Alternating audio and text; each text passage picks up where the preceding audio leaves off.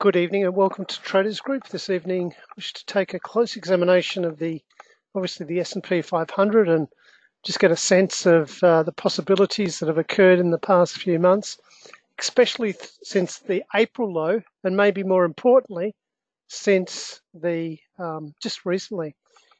Um, in terms of investment, I have urged and conjuled and pushed people to be exposed to this market even though the market has been quite negative from a from a media point of view. And uh, if you have listened to the media, you've missed out on some massive gains in the past six months, even in the past six weeks. As an example, how has my portfolio, or one of my portfolios, gone? This is a portfolio that is a mirror of uh, of the momentum investing course. So just in the past six weeks, how have I performed? Since the beginning of the financial year. And uh, when that picture pops up on screen, the answer is 6.68%, with a significant outperformance against the benchmark, the green line being XJO. What's driving that? Well, there's a couple of things driving it. One's great positioning within sectors that are moving, and there's a little bit of a currency effect involved. But irrespective of what's driving it, uh, 6% is what people usually ask for within a year's return. It just happens that it's come in within six weeks. A part of the reason, too, is the beginning of the, this financial year started in a bottom, in a low, you know, in a, an accumulation phase, nearly exactly for US markets. So there was a, this quick rally that we've experienced in the past six weeks is, uh, you know, the money that uh, wasn't in last year's return, but uh, it is what it is. Okay, so if you are not committed to the market, once again, I believe you're making a massive mistake because this market is very near to breaking into a new high. I do not believe that that's what it's about to do in the next day or so, but generally speaking, this is driven, it's driving to almost new highs. In the next month or so, we're coming into August, September, we will reach a new high possibly within the next few weeks. The only there is no negatives that I can tell you that are on screen now. Of course, I can make up stories about seasonal cycles and uh, tops that occur in uh, September and October, but it simply has not occurred yet. Uh, there has been no breaks of trend. There's been no breaks of swing low, and there's no volume information or internal advancing declining information that can tell me or give me any sort of clue that this market is doing anything other than continuing to the upside. So looking at this particular market, just in a really tighter time frame, I'm talking what's probably going to happen in the next week. Uh, it is and has just broken its trend line. Sorry, it's broken below its moving average, and uh, the market's fallen for four days. Last time it did this, it rejected the moving average and, and bounced. This time, though, when I look at the picture which is uh, supporting the downward move, it's it is fairly negative, and um, 50% or more of the institutional buying volume that existed last week has evaporated. Therefore, if you were to ask me what's probably going to happen in the next week or so, the market should do what it normally does and go up. When I say go up, I'm meaning having a dog leg. I've drawn it on the screen markets never go straight down uh, to their trend line. They always break, they break their moving average, they have a rally, and then they fall. So um, let me draw the trend line that we've been using. Just give me one moment. It's a very bad starting point. I would not be surprised to see the market come back to that trend line, which I've drawn, um, drawn before, which should occur within the next week. After that, then we have the beginning of the next rally, which will probably take us into new highs. The new highs of February are a trigger. There is a body of, of investors that only invest when markets break into new highs. It will attract a lot of new money, and the market should have a decent push above the, you know, in the new high area, um, as as I've observed many times in the past. What could derail this market? Well, I haven't got anything for you to derail the market. There is no global geopolitical or economic fa- factor that can derail what is a strong US market driven by the aggressive policies of the Trump administration in the context of their so called trade wars, which they're going to win. And I believe that the US is in a period of strong growth. We already know they are. They are we already know their unemployment is at historical low levels. Their um, the economy, which is generally a consumer-driven economy, is just showing some massive signs of strength. And I cannot see in the foreseeable future what will derail that. Of course, all good things come to an end. And all good things come to an end when the market gets overstretched, inflation kicks in, and uh, the cost of capital is choked off due to rising interest rates, which is one of the levers that the US Federal Reserve, monetary and fiscal policy, the monetary policy lever of uh, of uh, interest rates, which they do use, but that comes toward the end of a bull market, and that is not in the near horizon. It could be two, three, four, maybe even five years out. That's probably a bit far out, but it's not in the near horizon within a one-year time frame. Only negative that I may be able to consider would be a seasonal cycle, but again, there's no evidence of any seasonal cycle at this point in time, and um, I find it fairly irrelevant because if you position correctly, even in pullbacks, you have produced a portfolio which is a natural hedge in itself. If you've positioned yourself in the stronger sectors of financial markets, we're discussing these every week. We'll identify them again tonight. So uh, it all is looking very strong on the basis of the S&P 500. In the short term, just coming back to the short term, I did notice a spike in the VIX in the past few days, but that's just reflecting what is the market setting up for a pullback. If your screen is black, so is mine. I've got a pretty slow upload. One day I'm going to get an NBN. Here it is. It's about to pop up on your screen. Okay, so within the VIX, I do observe a, uh, a spike uh, and a break of short-term trend since we spoke last week. Uh, that's not that's nothing uh, unusual. It simply is the reflection of put purchasing as the market pulls back. To get concerned about US financial markets, you'd have to see a break of trend. All those elements we've discussed many, many times over the past years would have to kick in for me to get excited about going to cash or hedging my portfolio. It just simply, none of that just simply exists at the moment. Coming across to other elements of the market, primarily the, uh, let's just quickly look at IWM. IWM is the mid cap, and we know that it's a little bit more sensitive. We know it's been in a triangle because we drew it last week, and that triangle most probably will be broken to the downside. Maybe not this evening, because I'm not expecting the market to continue on down. Market should rally in its dog leg basis S&P 500 and then break down into that trend line that would be very nice. That would be a buying point on screen and uh, an opportunity if you're not exposed to the current US market. In the past few weeks, I've been slightly adjusting my portfolio to reflect strength and take away from weakness. The takeaway from weakness has been metals and mining. We'll discuss that. The uh, the uh, exposed to strength has been in consumer staples, of which we have discussed now I first started discussing consumer staples US in the 5th of July. I've marked it up on, I've got it all on my pad so I can go back. I've been talking about the weakness in metals and mining since the 1st of August, and uh, and we are all well aware about the strength of tech and uh, consumer discretionary. We'll have a look at this all in a moment. So it's all about positioning, and the positioning is what's driving really strong returns. EWA. No, sorry, I don't want to do EWA. I want to go look at EWG, which is the German market. Then we'll look at the China, sorry, the German, then the Chinese market, and then we'll go have a look at our local market. First of all, EWG. I had the expectation that this particular chart, when it pops up on your screen, would start to reflect an inverted head and shoulders.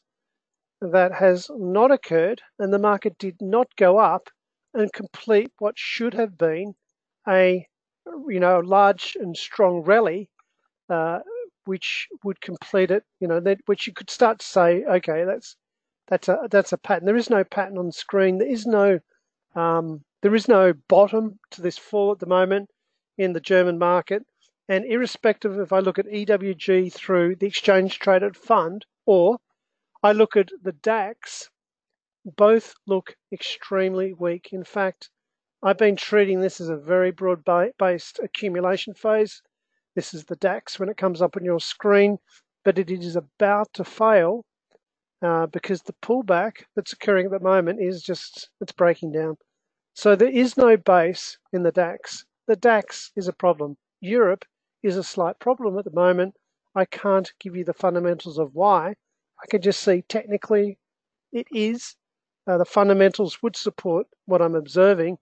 And in the context of institutional volume behavior, it has turned, especially in the past week, um, extremely negative. So um, you wouldn't be a buyer of German equities just at this point in time. And that would be true for FXI. FXI, as we know, is the exchange traded fund relating to high cap stocks in China, based in on the New York Stock Exchange. And many weeks ago, I drew an inverted head and shoulders pattern on the screen. The reason for drawing the uh, the pattern, Alan just gave me a point. I'll bring that up, Alan. The the reason for drawing the pattern on screen was uh, the depth of the pullback in the what, what could have been a W pattern. But remember, on the right hand side of that pattern, it started pulling back below 0.618, which is a warning signal that it may fail. So I drew this pattern on, which looks like it's going to come to pass. I'll just leave that pattern there. I don't know what the bottom is, but it's capitulating. So was that a failed left shoulder, or so a failed pattern on the left? Well, it's not a failed pattern. It's simply the left-hand side of what should end up being an inverted head and shoulders pattern. For it to be an accumulation phase, for it to be a, an actual pattern, it needs to complete, it needs to be supported by volume, and that's what didn't happen on the German market. So we wait and see. Would you invest in um, in FXI? I don't think so. Would you invest in the Shanghai Composite shares? I don't think so. If I come across to Shanghai Composite, it is exactly the same picture. I do the same W pattern on screen. It hasn't actually occurred yet, but you can see what should happen.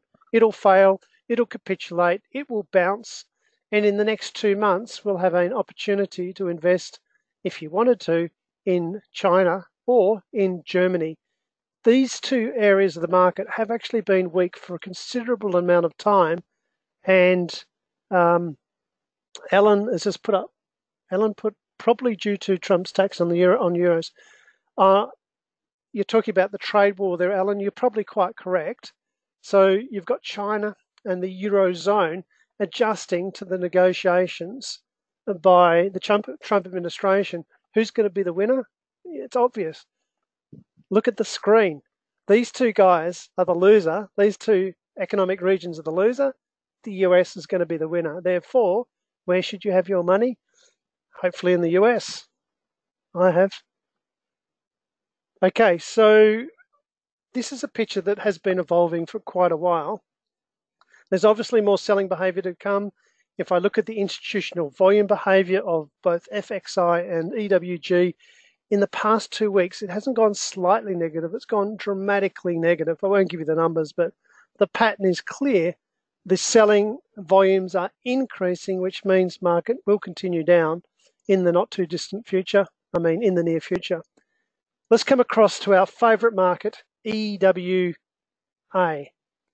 EWA is obviously Australia basis, the exchange traded fund.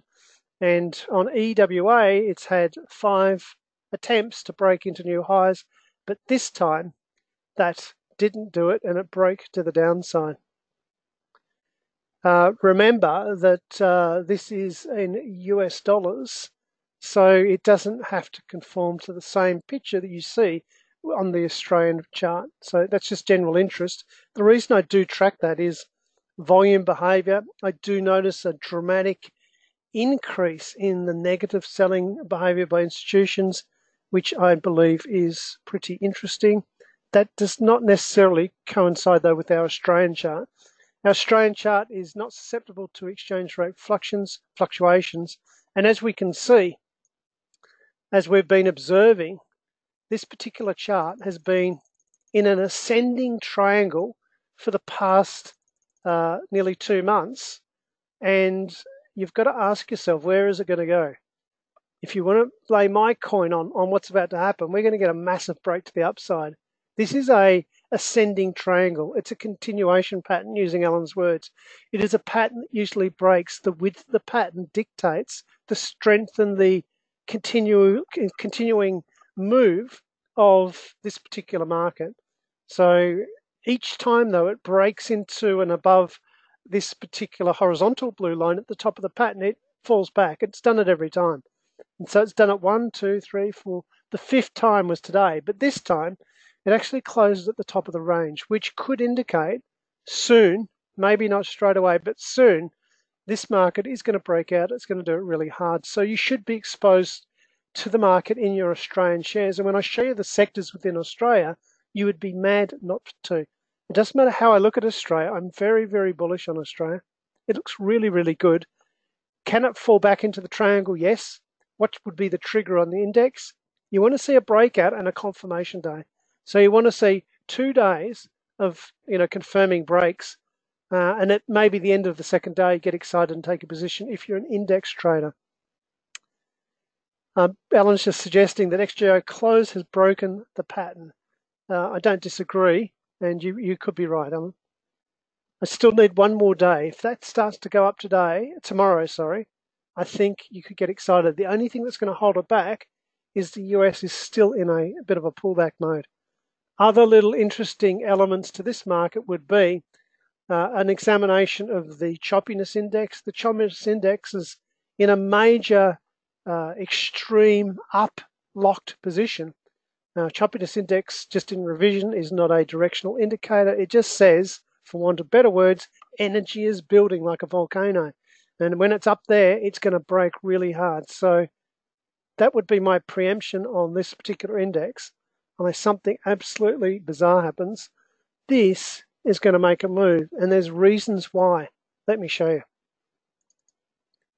The reasons why this market should break really hard, besides technical indicators, is based in an examination of the sectors. I've been saying this for uh, for months.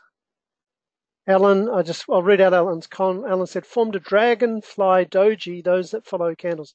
Alan, I don't subscribe to candlesticks, so I apologize. I just like looking at bars and pictures on screen. Um, I'll leave it at that. I won't make even comment. I don't want to take away from candlesticks. They're probably wonderful if you're used to reading them, but uh, I just don't do them. Okay, let's just have a look at some of the sectors within the Aussie market. And uh, you tell me when you look at these sectors, what's going on? Healthcare has gone ballistic. There was an unbelievable opportunity in healthcare in the last two days, which I took advantage of. And someone else had to point it out to me. It was COH.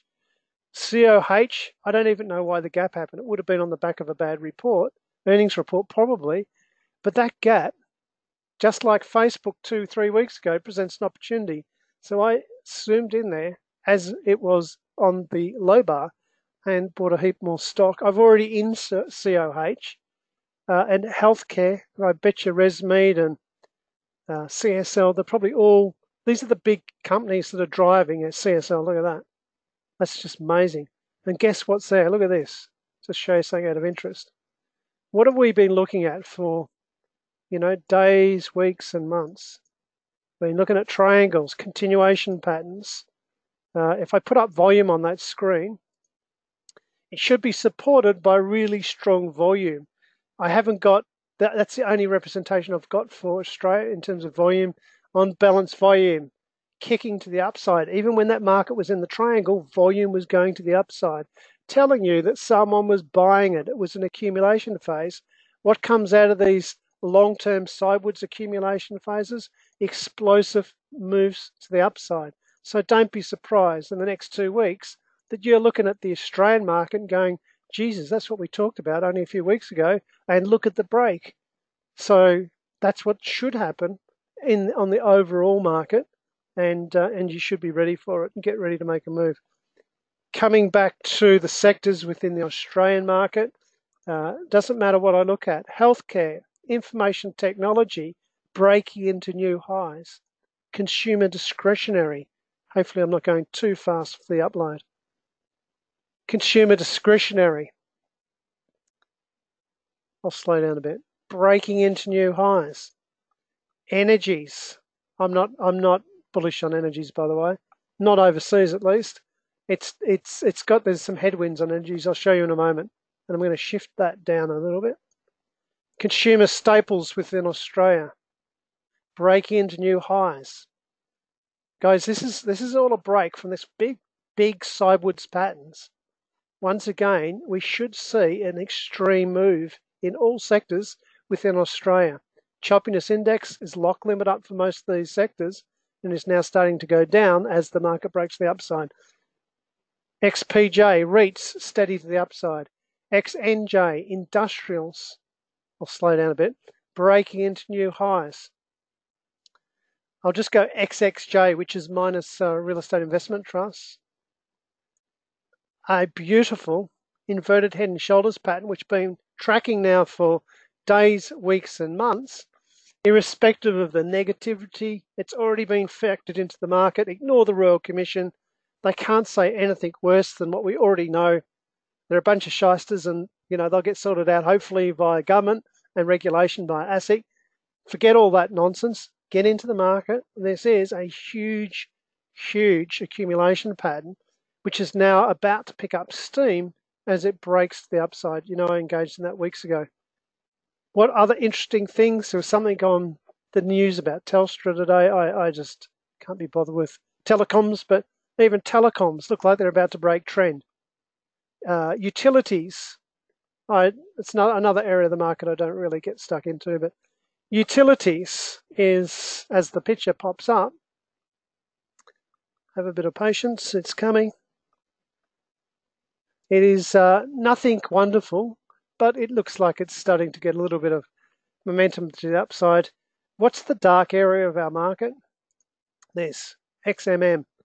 Metals and mining broke out of its triangle to the downside. This is not something that is not and could not have been anticipated uh, I have been talking about the weakness. I was expecting XME to actually get some strength, but as soon as it started to threaten the bottom of that uh, trend line, I'm out of all my. I am, am in no metals and mining at the moment. Uh, it's not surprising. Metals and mining globally are generally um, there, especially internationally. All commodities are in US dollars, and as we know, there's been a strongly rising US dollar, which means all the contracts written in US dollars, well, commodities are getting more and more expensive, hence the general commodities fall off. Uh, I thought this might have been supported because it's been should have been offset by a strongly declining Australian dollar, but it hasn't. I'm not going to hang around because there's money to be made, and it's in healthcare, finance, all these other sectors. Why would I wait for this to fall, which now it's going to have to, in fact, watch this. Even if you look at it like this, put in a W pattern on screen. Sorry, I'm speaking in opposites. It's opposite day. Put in an M top on screen. You know that's a distribution phase. You know this is going to take days, weeks, and months before it falls, puts in an accumulation phase. Uh, you know, the moving average flattens and starts pointing up. How many weeks or months is that going to take? So why would you sit even though long term you might be bullish in metals mine, why would you sit in there when healthcare is uh, taking off, when finance is bottoming, when consumer staples and all the rest of them are making a big move? The only negative with metals and mining, it is such a big and dominant feature of our local market. It's the only negative that I've got at the moment. I, I, what I would like to see is this capitulate and bounce, and that bounce would support the market, and I mean the index, to break out. So this is the only negative I can see within Australia. Coming back to the index chart, I don't think I'll draw where we are. Oh, this is just another picture of it. We drew this months ago. Big cup and saucer patterns. And where is this market going to go? Let it break. We've done projections before. It should maybe even break tomorrow, maybe not. Let it break. It probably won't. It always fools people. People get sucked in too quickly. I would let it go, let it confirm. If you're an index trader, and uh, just be patient. If you're an equities investor, I know I'm repeating myself, you should be already there. Okay, just coming back, there's a few points I missed in connection to the US markets. Just coming back to advancing and declining figures that I track and new highs and new lows. I'm trying to pick up anything that could be a warning signal. And there isn't a warning signal because in the last three weeks, advancing stocks were 243 to 240 declining. This is S&P 500. 266 last week, advancing 218 declining. And this week there has been a modest decline, 254 advancing, 230 uh, declining. Nothing unusual. We're in a counter trend, so there's nothing there. In terms of the volume of advancing and declining stocks, I do see a um, something a little bit interesting, but the uh, the volume of advancing stocks against the volume of declining stocks is even. Last week it was 31% different, and uh, which is pretty extreme. But that was at the top of the extension. This week it's one percent above. Again, nothing to get excited about. It's normal behaviour in a market that's having a pullback. And while I've got Facebook on screen, I think two weeks ago uh, you know, presented an opportunity and uh, maybe it'll do a retest. I don't really matter, care at all. Uh, I bought it very close to the bottom and um, I'm happy to hold Facebook. Again, any negative news about Facebook and the changing of their, you know, of their priorities and the way they deal with information, it's already in the market. There's nothing additionally negative. So why would you not buy uh, what is an opportunity, and uh, we'll see how that pans out. Okay, just give me one moment. I'm just checking my notes.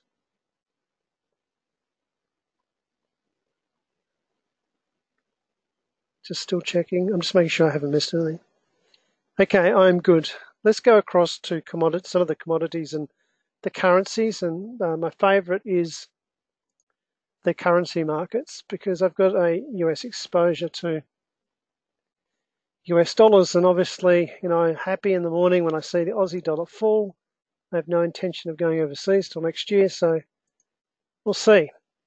FXA. Let's do FXA representation of the Australian dollar, looking at it on a weekly chart as we do on a, on a weekly basis. And we are all aware that the market has broken out of this grinding upward uh, slow momentum channel and probably will continue to do so. So we that's that's what we know. What we don't know is how far is this market going to fall? My view is probably quite a bit further because the Australian dollar is quite heavily linked to the commodities market, sorry, to the to the uh, to the to the metals and mining industry. And I'm going to show you metals and mining in a moment. It doesn't look too good in the short term. So this is a weekly chart of the Australian dollar coming across to a daily chart uh, we can see that uh, she's had a huge capitulation last week. I'm just going to blow this up because I took off my drawings from last week. Last week, what I drew was a little triangle on screen. And I said to you, if I turn back my page to one day, I'll go back two weeks. Okay, back on the 1st of August, in my notes, I'm saying about to fail both pattern and volume. Last week, what I said with the Australian dollar was down after a counter trend is complete. Well, the counter trend is obviously complete, complete because it's fallen. And what we can observe looking at the Australian dollar is that the uh, ranges of the last two falls could be used as a methodology for estimating, approximating, you know, roughly where is it going to get in the context of this fall. So I can do that really quickly by doing a Fibonacci extension and the answer would be approximately 71. So when we get to 71, I'll leave this here on screen. When we get to 71, that range would equate to previous ranges, and it's at that point that we'd look for a shift in pattern and volume behavior to indicate a lows coming in. Once again, is there any indication that it's going to stop there? I don't think so, because When we look at the US dollar, this is the one traded on the Australian uh, market. Uh, last week we were talking about the market touching this trend line. Just going to go back and look at my comments. I just got the word up in last week's comments. And the week before that, I wrote on my pad, maintaining trend, steady volume.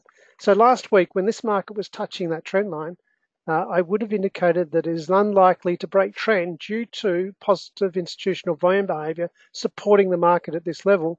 And that's exactly was right because it bounced. So now we've got an extension to the upside and we could do uh, extension measurements with Fibonacci ratios if you wished based on previous ranges to the upside. We could just eyeball it if you like.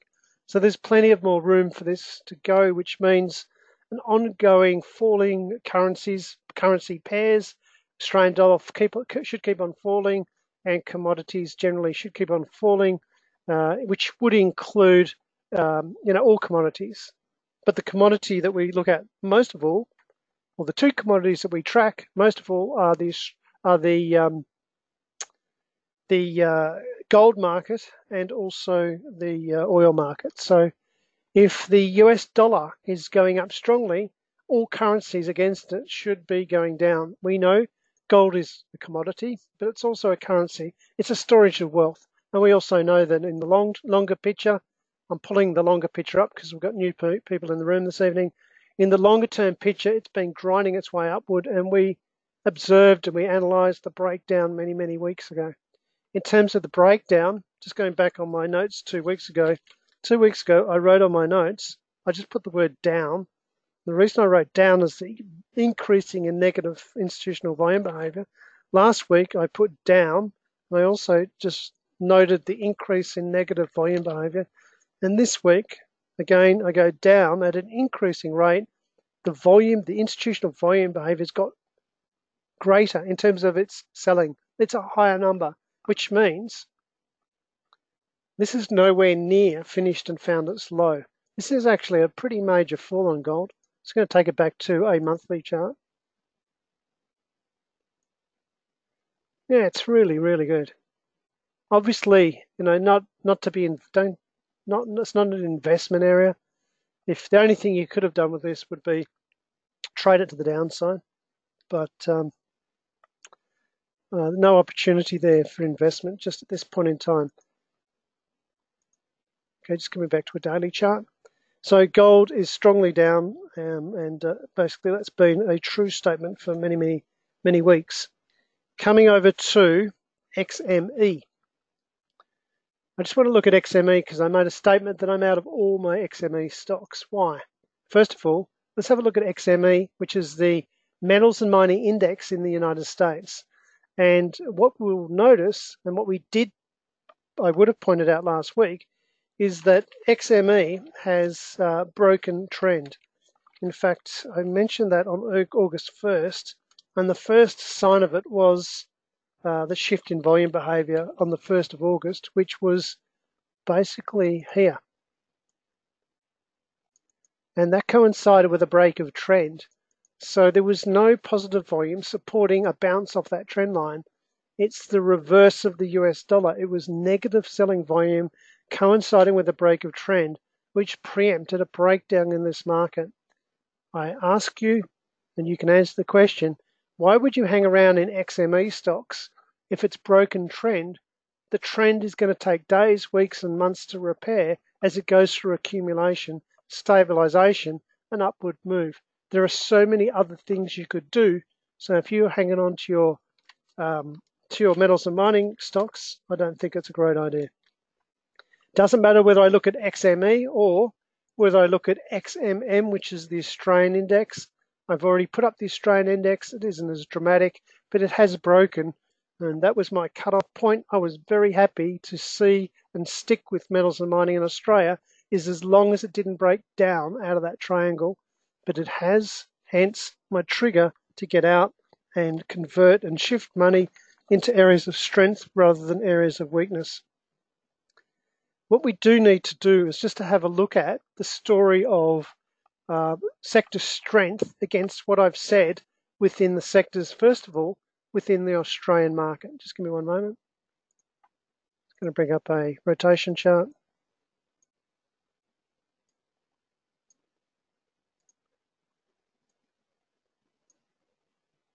Okay. Let me start with this chart. It is the Australian chart. Anything on the right of the chart is really strong. Anything on the left on the chart is has been weak and could be growing. The obvious strength in this particular chart is XHJ. You can relate XHJ with what I just showed you on the sector chart with this massive breakout. Please don't interpret downward movements on this chart as weakness. It's absolutely incorrect interpretation. This is a really strong sector of the market. Uh, what is really weak is anything gravitating toward the left, the blue line, XMM. Another reason why I was hoping for it to stay within the triangle, which would have meant that it did a right rotation on the screen. It didn't eventuate, eventuate and I exited the trade. Everything else on this screen is strong, including telecoms, which are screaming, I'm presenting an opportunity. That is probably definitely the low. XL, XFJ, XUJ, XNJ, everything, XXJ, everything on this screen is saying there's a potential. There is one caveat there. I didn't look at the oil market. I really do need to look at the oil, and we'll have a look at it shortly. I believe oil is about to fail. I'll show you why in a moment. It already has broken, but there's a couple of reasons. In fact, why don't I show you right now before I forget? It's the one commodity I missed.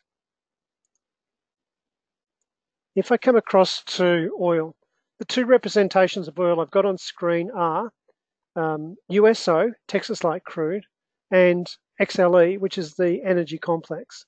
Just give me one moment.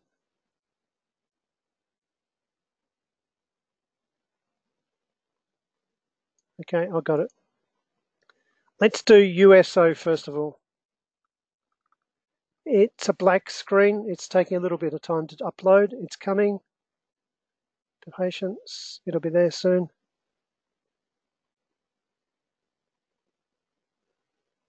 Okay, this is USO. USO has been in this nice uptrend for many, many, many months since uh, you know this time last year, July, August last year. As of last night, it just put a red bar, which is underneath its longer term trend line. That red bar is backed by a massive amount of institutional selling volume.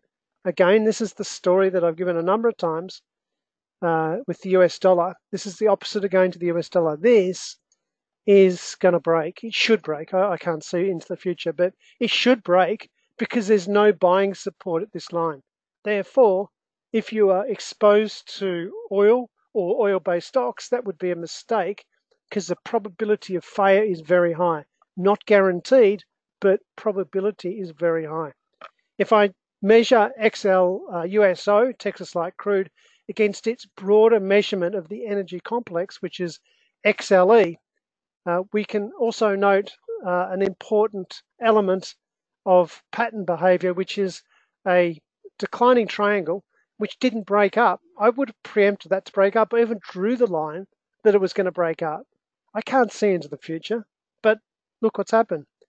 This particular break to the downside is supported by a massive increase in negative selling behavior. So this is not going to bounce tonight. This is going to continue on down and it's going to go wherever it goes. So the trigger to not be in and exposed to XLE, irrespective of sector rotation charts, is your view of the volume behavior and the pattern behavior behind this chart. So I am in no way exposed to energy and in no way exposed to commodities, metals and mining, just at this point in time. Just give me one moment, guys. I'm just checking. Okay, so coming back now to the sector rotation charts. It's not clear that energies are about to fail on this particular chart as it pops up, but this is me preempting what's about to happen and getting out of the way of danger and moving into what is sure strength. Coming across to the US rotation chart, if you look at the XLE and USO, XLE has been losing momentum and is now at a point where you should start to see its strength uh, ebb away very quickly if I am right. So what I'm saying is a tiny little preemptive. XME is a dog, GLD is a dog. Where is the strength? The new strength on this chart, I've pointed it out many times. It is in XLV, healthcare, XLU, which uh, Alan pointed out last week, so I always skip over it, and XLP. I've been talking about XLP for a long time now. I'm exposed to XLP. I'm taking advantage of this market move. The other two areas of the market, which is really strong, is consumer discretionary and tech. Um, so there's uh, many, not many, not as many sectors driving US markets. It's staples, utilities, healthcare, discretionary, tech, and that's where I'm going. On oh, finance is evolving. Finance isn't moving yet, but it's about to make a move. How can I tell that? It's starting to move up. As soon as it does two data points to the right, it'll be going. Let's go have a look at XLP. I was talking about XLP back in July 5th. Why do I know that? Because I've tabbed back in my, my, my book. I've got this A4 diary in front of me where I keep pretty detailed notes of what I say in these rooms. In this room, in case anyone uh, questions what I have said in the past, let's just go quickly. Go have a look at XLP. I said to you back then that it's very difficult to imagine what's about to happen in the future when you're looking at a sector that has been weak and everything looks like it's in decline. They, they, I know they were my words because there's nothing else I would ever say because I say it all the same thing all the time ad nauseum for decades now. So let's go down to my list. My list, here it is here. So, and I put the top two stocks. I think they were COST, which I own, and uh, SVYY. Let me click the first one, Costco. And these are these are not filtered. They're in no special order. Um, you know, they're just stocks that uh, I picked to get you going. You know, to get you to start doing some due diligence in the uh, in this area. This particular stock had a huge uh, fall, which was an opportunity to add. Uh, just a couple. I'll just do a couple more. Uh, PG uh, going up nicely. This is the sort of chart that you were faced with back in. Remember, this was back in. Just checking the date again. 5th of July. So back in July, this had just been coming off this huge fall, and it was just starting to break trend. It's hard to get your brain around. It's the beginning of a potentially a major trend, but I believe that's what we're in. If you go back to even this is Coca-Cola back to the 1st of July when I'm talking about, it had just come off its low. It was barely breaking trend. But in the last few weeks, it's gone from 43 to $46. It's um, looking really good. So uh, PEP, I won't go any further. I think you get the message. That was an opportunity. It still is an opportunity, and you just need to take advantage of it if you wish to. The other opportunity I've been really weighting my portfolio towards is the healthcare sector within the United States. If I go to a sector chart of healthcare, just give me one moment. It is an impressive chart. One moment. We talked about this last week, and Alan identified the um, a particular segment of healthcare, which is biotech. And my exposure to healthcare in the United States is all biotech now. So this is getting really close. It looks so strong. I'll just go check the stocks that I own within healthcare. Hopefully they're all going well. So I own GTHX since April. BGNE. Not that spectacular. I might have to go have a look at this one. BPTCT. Not unhappy with that chart. And ILMN. I'm not unhappy with this chart. So this is all good and uh, and I think there's a lot more to come after we have this little pullback within the markets. Just give me one moment. I'm just reading my notes. I'm making sure I haven't missed anything, and I'm losing my voice. The only thing I didn't cover this evening, and I've got the word CRAP against robo stocks. I'll go there and have a look. There's a reason I put that word there because I've lost complete. Well, there's nothing there I'm not about falling in love because I think tech's going to take over the world. You know, artificial uh, intelligence is going to take over the world. That's not what I'm about. I'm about identifying strength. And at a point in time, Robo was hot. Hive, H-I-V-E was hot. Uh, B-O-T-Z, they were hot. But now they're not. So I'm not interested.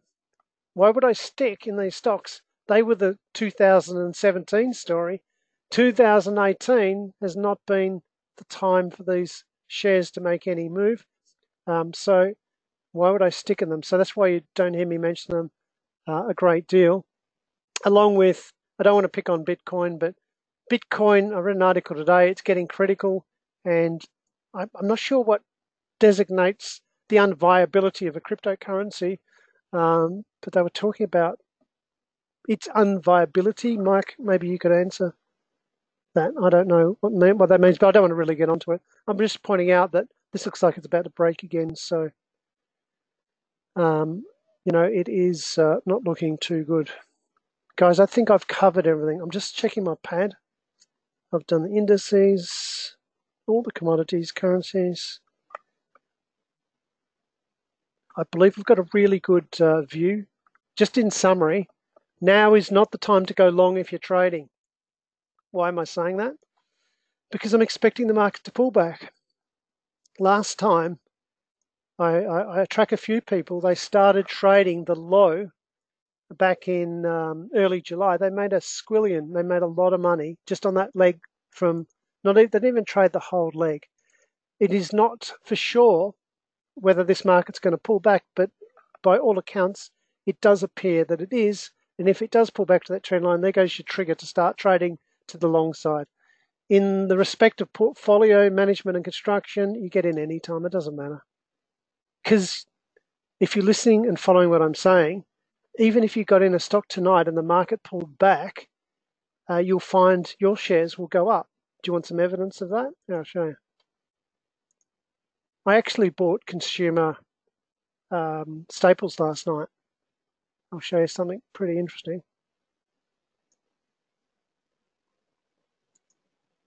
The reason I bought consumer staples because I'm buying really strong shares and the market fell over last night, but consumer staples was the sector that is it's gone up. It's bouncing off its trend line. So, you know, the purchase of shares for investment is just simply not as critical as, um, you know, as buying shares for, or, you know, if you're a trader.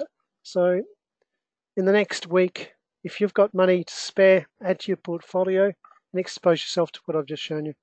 Guys, I believe that's it for this evening. I appreciate your attending, and uh, especially guys like uh, Alan Hain from New Zealand, who has to trudge through the snow and uh, listen to this. So thanks, guys, and I look forward to seeing you same time next week. Thank you. Good night.